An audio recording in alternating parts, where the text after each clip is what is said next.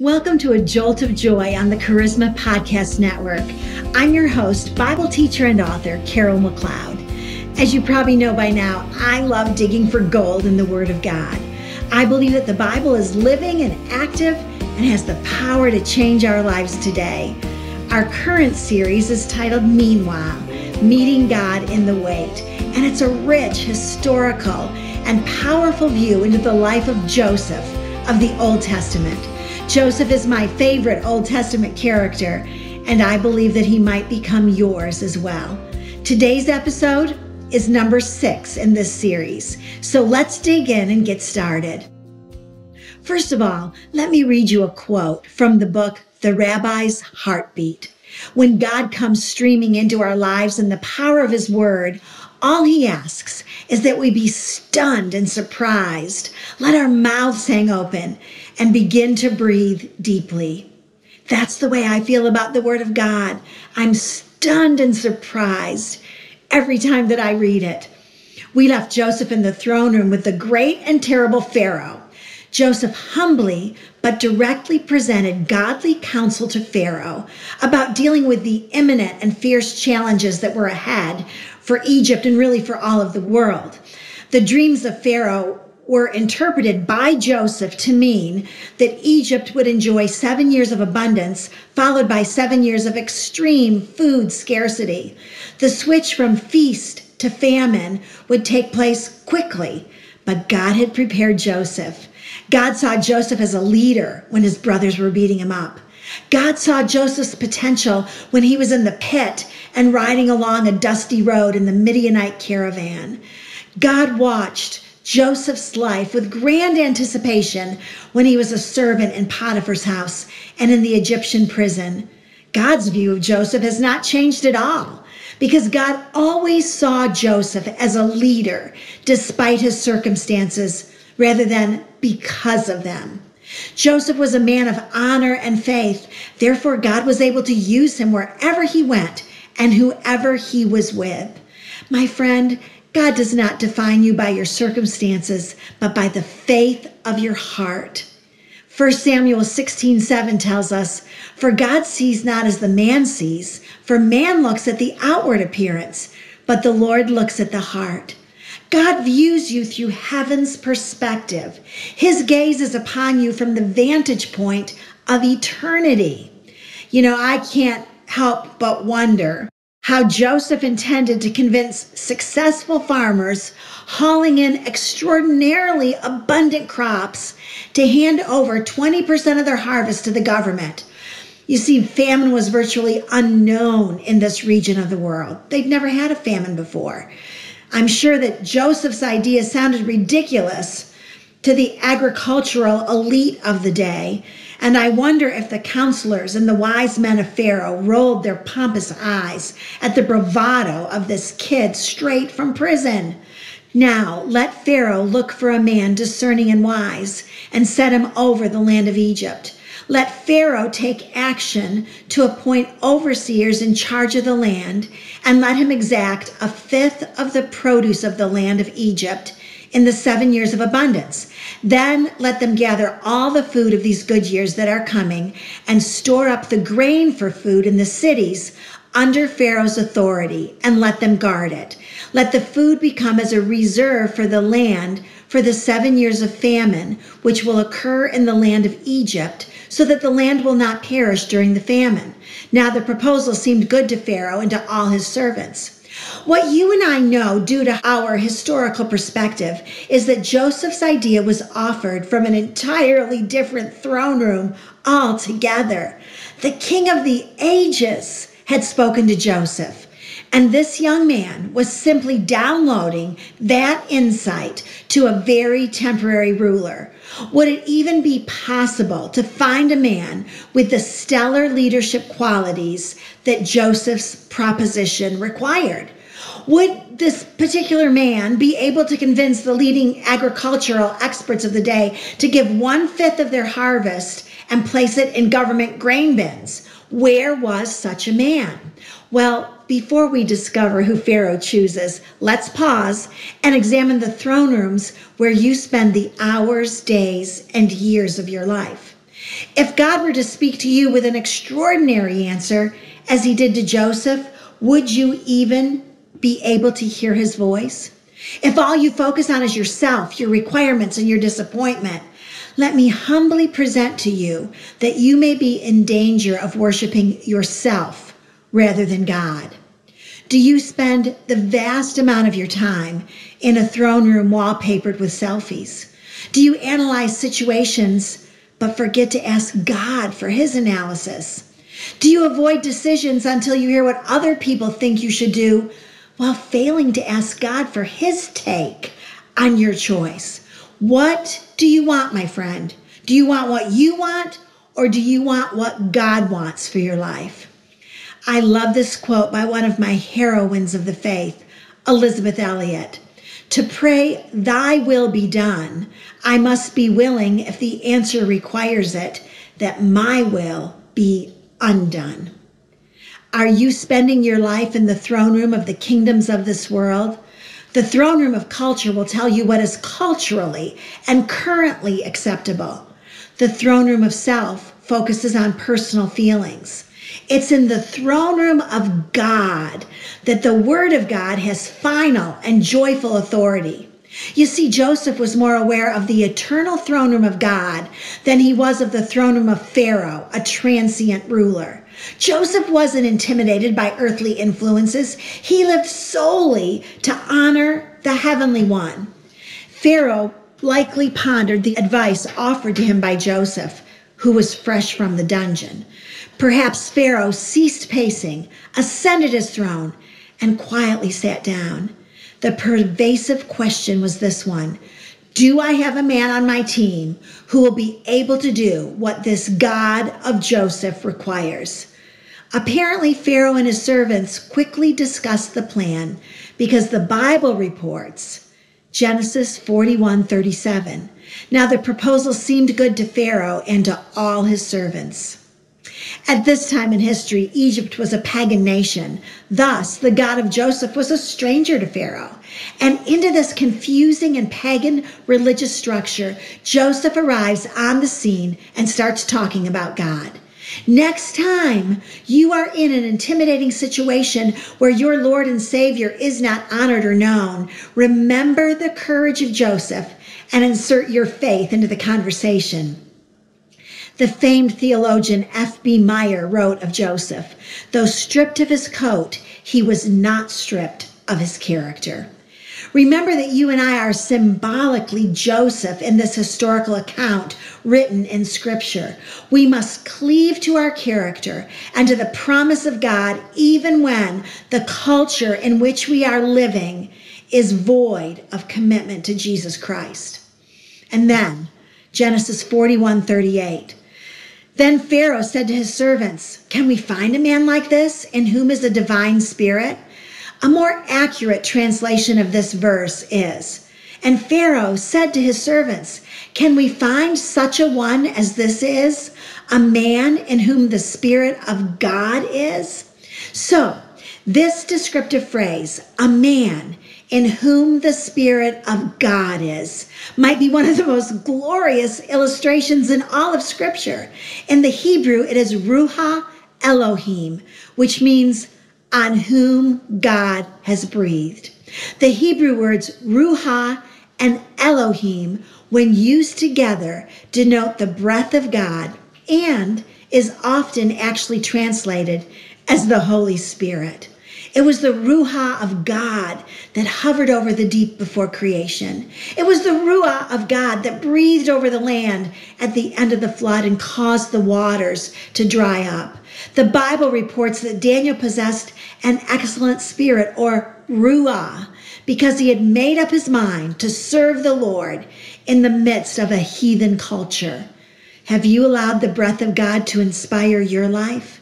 Have you asked the Holy Spirit to give you more strength than you could ever have had on your own? Are you determined to live in such a way that all of creation will recognize the breath of God on your one glorious life?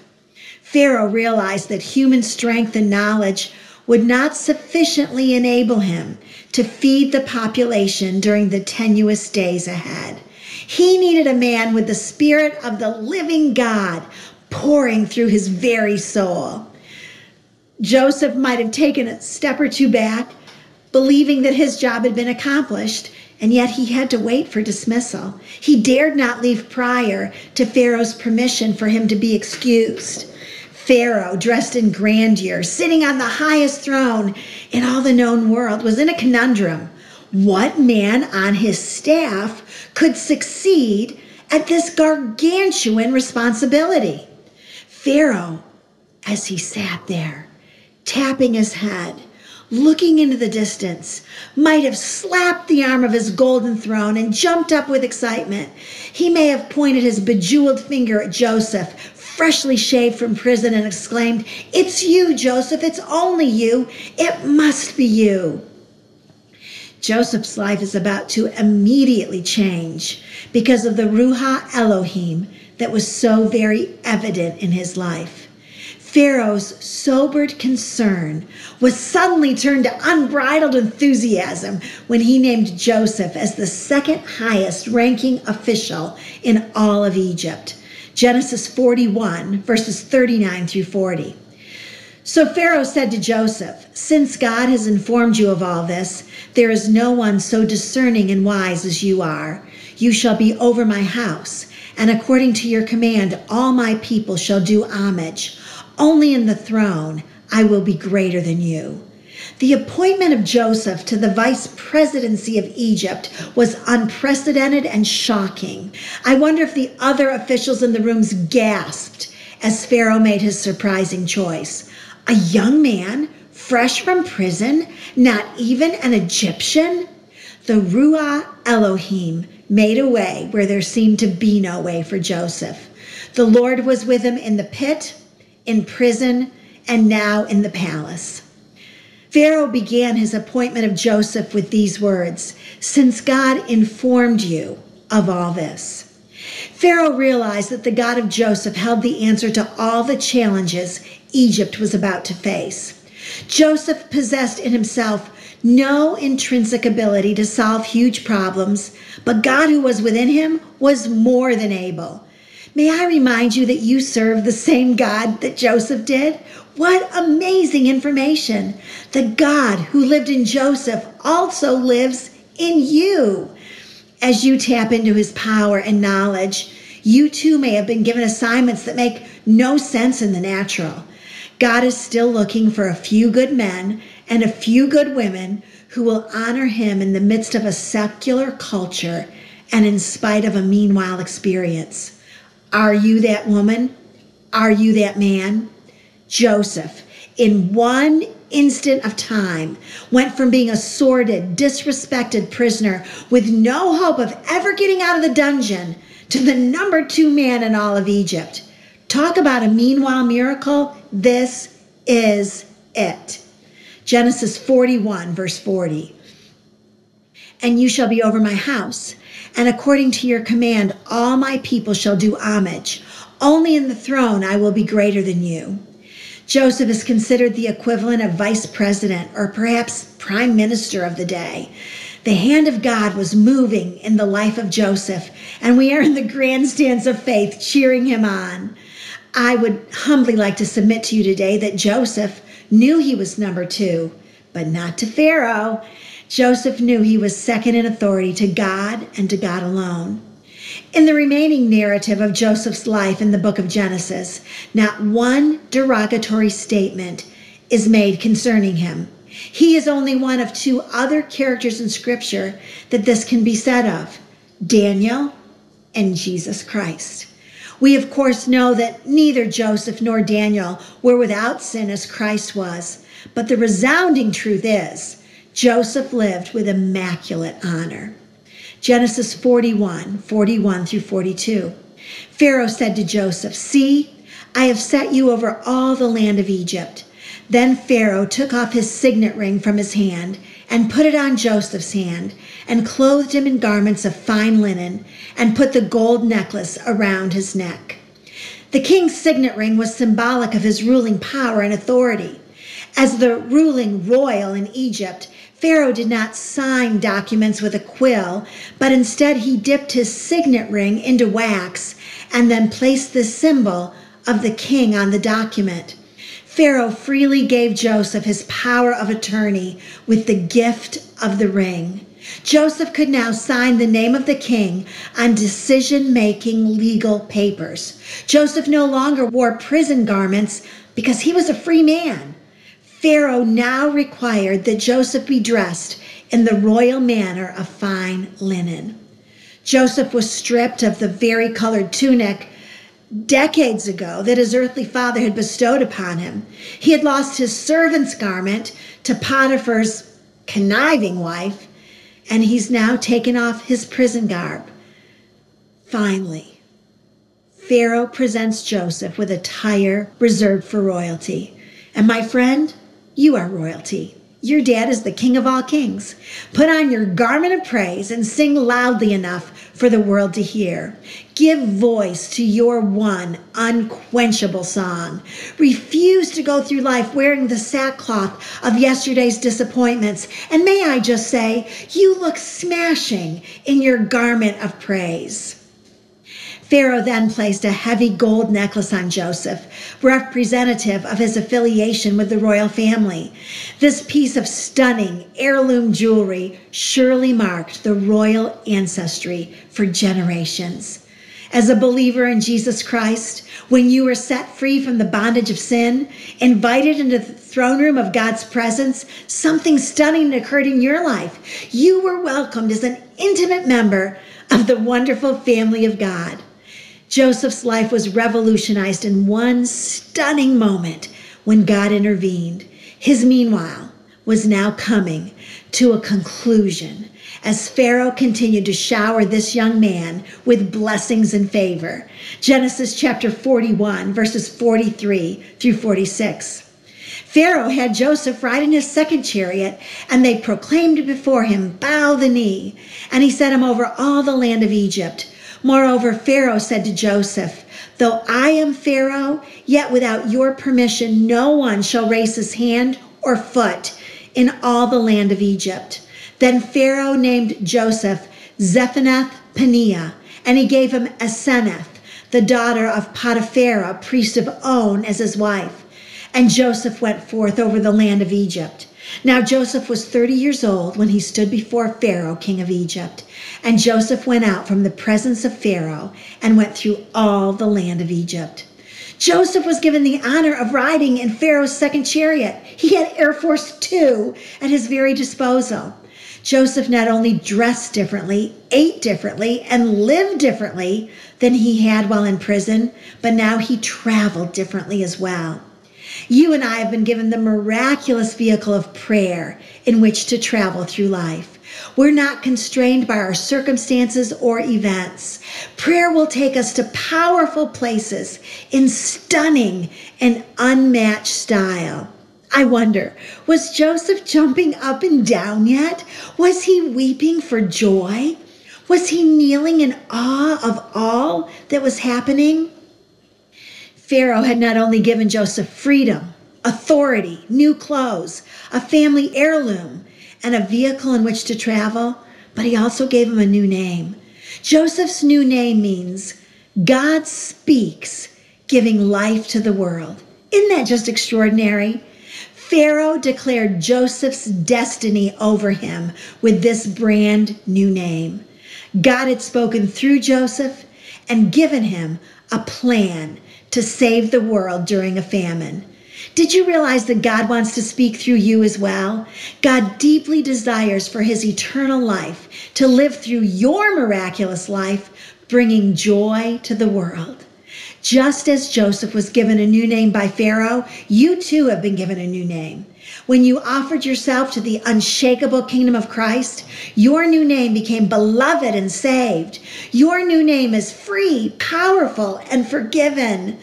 There's a wondrous blessing that comes to a man or woman who spends time in the throne room of the King of all kings. Those who choose to spend time in his presence are now set free from the pain of the past. They wear the garment of praise. They're transported by the vehicle of prayer. The family lineage has been realigned. They are given authority and they have the honor of a new identity. It happens because we serve a God who always keeps his promises. I have always loved Psalm 138 8. The Lord will accomplish what concerns me. Your loving kindness, O Lord, is everlasting. Do not forsake the works of your hands. When you, as a daughter of God, walk through life with honor and integrity, you will receive the Joseph blessing. When you live with moral excellence and undeniable trust, the Joseph blessing will follow you all the days of your life in one ordinary man by the name of Joseph, at one terrible moment in human history, we observe the favor of the eternal God. Due to the faithful resolve of Joseph, the blessings of God followed him wherever he went. Genesis 41, 47 through 9. During the seven years of plenty, the land brought forth abundantly. So he gathered all the food of these seven years, which occurred in the land of Egypt and placed the food in the cities. He placed in every city the food from its own surrounding fields. Thus Joseph stored up grain in great abundance, like the sand of the sea, until he stopped measuring it, for it was beyond measure. The prosperity was so enormous at Joseph's moment in Egyptian history that they were unable to measure the wealth and the abundance. How does this happen? It happens when an ordinary man or a common woman determines that he or she will partner with the eternal God to make a resounding difference at his or her moment in history. That's when the extraordinary occurs. My friend, remember you serve a God who turns all of your meanwhiles into miracles. Well, if you enjoyed today's teaching on a jolt of joy, I'd like to encourage you to buy a copy of my most recent book, Meanwhile Meeting God in the Wait. Also available are the eight videos to enhance your study in this rich look at the life of Joseph. The book is available on my website, carolmcleodministries.com, on Amazon, of course, ironstreammedia.com, and wherever books are sold. The video teaching series is only available on my website, carolmcleodministries.com, and at ironstreammedia.com. I'd love to hear from you, so feel free to email me at carol at carolmcleodministries.com. We love to pray for everyone who connects with us, so be sure and send me your personal prayer request. I want to remind you today that when you choose Jesus, you're choosing joy. His will for your life is an inexpressible and relentless joy. Don't ever doubt it. And as always, I dare you to choose joy.